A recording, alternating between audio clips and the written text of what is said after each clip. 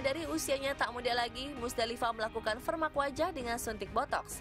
Musdalifah berharap penampilannya bisa seiring dengan Fadel Islami, sang suami yang usianya jauh lebih muda.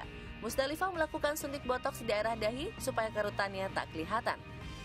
Usai suntik botox, Janda Nasar dan Hairil Anwar ini memamerkan foto dirinya bersama Fadel di laman Instagram.